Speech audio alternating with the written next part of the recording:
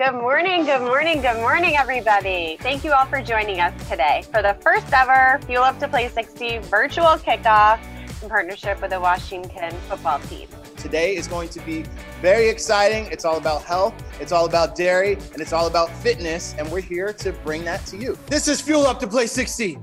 This is our time. We're coming together to stay healthy. So if you're ready, I need you to make some noise.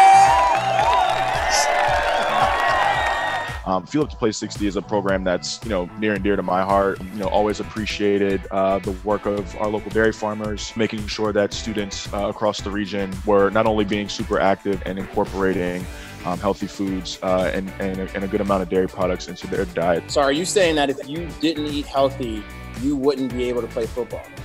I don't think I would have been able to. If I didn't make a really, really big effort and try to focus in on it and have a plan for it, I don't think I would have played football. Make some noise for the one and only Kelsey O'Shea. Dairy farmers are the fuel up portion of the program. We're the ones who are taking care of these cows, taking care of the land, taking care of people to bring you a wholesome dairy product that keeps you fed, nutritious, and going while you're at school. Well, it all starts with a healthy breakfast every morning. One of my favorite breakfasts is to have cereal. And of course, with my cereal, I like to have a lot of milk, but that takes a lot of good fuel and good energy to be able to stay productive all the time. Make some noise for the one and only Dion